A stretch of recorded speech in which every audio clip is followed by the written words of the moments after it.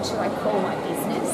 It's one of those complicated processes we go through when we start a new business. But Peter's done it beautifully because it's Peter. Now he sold the business now, he doesn't own it anymore. But if you want to know the Peter Alexander pajama story, one of those great business stories to study. Because everywhere you go now in Australia and New Zealand, you'll find these pajamas. So instead of trying to come up with some name that nobody remembers, why not use your own name? The name that you're the most proud of. Could that be a good name for your business? And could that be, or could that make sales more simple? Because people know who you are. No cow poop.